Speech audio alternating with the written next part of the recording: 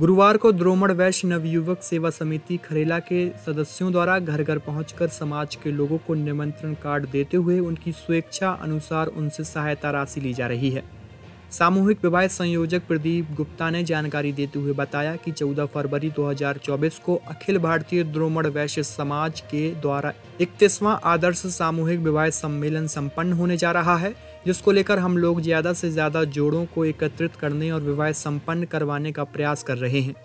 आज देवमण वैश्य नवयुवक सेवा समिति के सदस्य नगर चंदला पहुँचे, जहाँ समाज के लोगों के घर घर पहुंचकर उन्हें निमंत्रण कार्ड देते हुए उनसे उनकी स्वेच्छा अनुसार सहायता राशि ली जा रही है। कमेटी के लोगों ने बताया कि हम लोगों का प्रयास है कि कम खर्चे में अच्छा आयोजन किया जा सके। विवाह संयोजक ने बताया कि हमारे यहाँ कम से कम पंद्रह जोड़े और अधिक से अधिक इक्यावन जोड़े विवाह के अटूट बंधन में बांधे जाएँगे। आपका क्या नाम है और किस तरीके की तैयारियाँ आपके द्वारा की जा रही हैं? मेरा नाम प्रदीप कुमार गुप्ता और मैं इस समय सामूहिक विवाह संयोजक हूँ।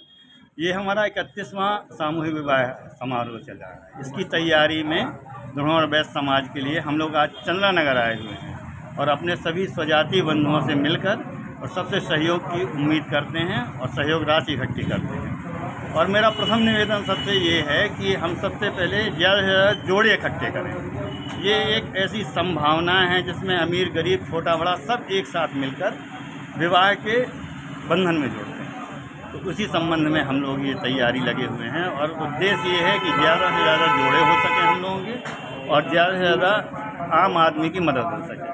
ये बहुत ही कम खर्चे में बहुत ही अच्छा आयोजन करने का प्रयास हम लोग कर रहे हैं। उसी संबंध में आज हम इकाई से संपर्क कर रहे हैं। जगह जगह सब इकाइयों से संपर्क हो रहा है और प्रयास ये है कि अच्छे से अच्छा कार्यक्रम हो और अच्छी से अच्छी सुविधाएँ दे सकें। कार्यक्रम कहाँ आयोजित होना है? ये कार्यक्रम खरेला जनपद महोबा में है।